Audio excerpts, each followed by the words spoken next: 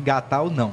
A gente segue então aqui por aqui falando sobre a vida dos famosos e hoje, né, a gente traz aqui essa notícia que muita gente foi pego de surpresa né, com o falecimento aí dessa atriz que ficou muito conhecida, que é a Jandira Martini, ela que lutava há alguns anos contra o câncer e infelizmente hoje foi confirmada a morte dela é, aos 78 anos e ficou muito famosa. Um dos personagens que dela que teve maior repercussão foi justamente na novela O Clone, né, que foi produzida pela Rede Globo e que agora fica aí o seu legado realmente para, para a teledramaturgia brasileira, né, para novos atores que acabam tendo ela também como referência mas aí conta um pouco mais sobre o histórico que, é que ela estava passando. É isso mesmo, viu, Val? Ela que ficou muito. Ela fez vários papéis né, na teledramaturgia brasileira, ficou conhecida por inúmeros deles, é, papéis de bastante relevância, inclusive. Mas o personagem que a gente mais lembra, que está no nosso coração, é a Zoraide. A Zoraide da novela O Clone, que foi escrita aí por Glória Pérez, né?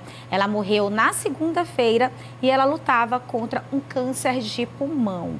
A morte da atriz foi revelada por amigos nas redes sociais, como o ator Marcos Caruso, que está no ar, inclusive, em Elas por Elas, né? E aí ele até deu um depoimento falando o seguinte: Jandira, minha maior amiga e prova de que os opostos se atraem e se completam. Juntos escrevemos peças, roteiros, cinemas, séries, novelas. Minha grande confidente, conselheira e responsável pelas minhas maiores gargalhadas. Minha mestra, sabe quando você passa pela escola na qual você estudou e vê que o prédio foi demolido?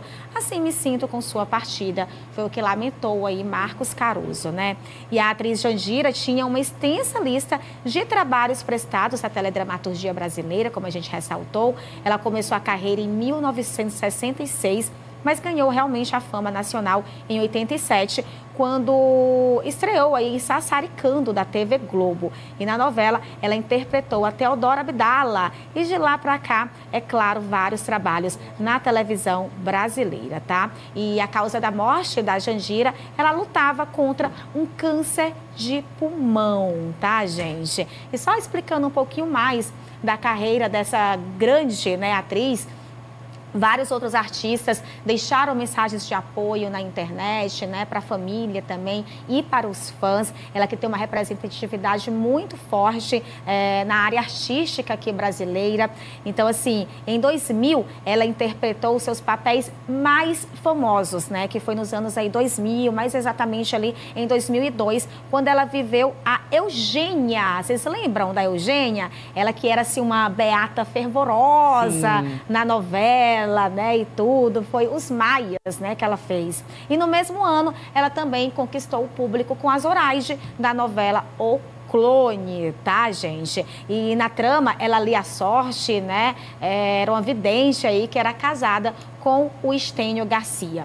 Ela também acabou participando de outras inúmeras produções, a Glória Pérez, como América em 2005, Caminho das Índias, Salve Jorge já em 2012 e a Jandira é, nasceu em Santos, em São Paulo. E seu último trabalho é, nas telinhas foi uma participação na série Viver do Riso em 2018, né, num passado não tão distante. E como eu até falei para vocês, nas redes sociais, fãs, e artistas lamentaram aí a morte da Jandira, dizendo: perdemos uma gigante, né? A Jandira, que nos deixou ontem aí aos 78 anos. O talento dela sempre fez papéis, é, sempre, sempre fez papéis coadjuvantes se tornarem gigantes na telinha. Ela sempre dava vida ao personagem e aquele papel coadjuvante que ela fazia acabava tendo uma grande expressão nas novelas. Realmente uma grande perda para a televisão brasileira, para o núcleo artístico e para os fãs da Jandira, né? Mas ela já vinha lutando contra o câncer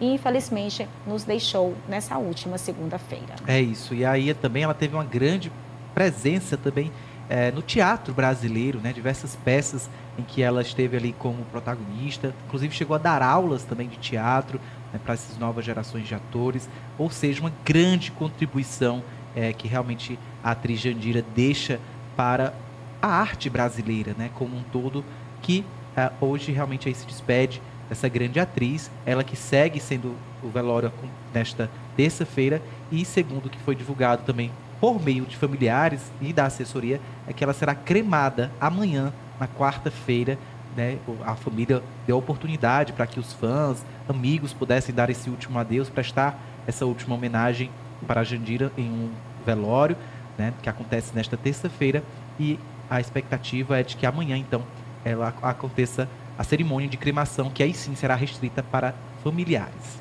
A gente deixa aqui os nossos sentimentos para todas as familiares, amigos e os fãs né, da Jandira que acaba aqui também englobando todos nós do programa da tarde. Uma grande perda, né, Sem Val? Uma grande dúvidas, perda. Né? Ela que fez, tipo, eu digo recente, 2018, tá bem recente realmente. Logo depois disso foi quando ela descobriu o câncer, travou aquela luta ali, infelizmente não deu para Deus, né? A gente tem que atender esse chamado e acabou nos deixando.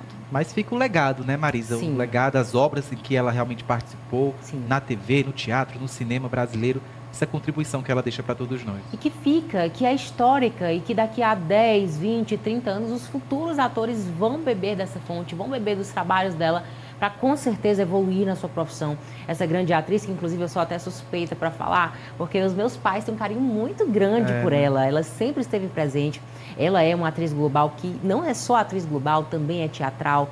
É, é de fato uma perda muito grande. A gente deseja os nossos sentimentos, os nossos pêsames aos familiares e nós desejamos também que esse legado, que essa cultura que ela trouxe para a gente se perdure aí para a nova geração de artistas, para os jovens artistas.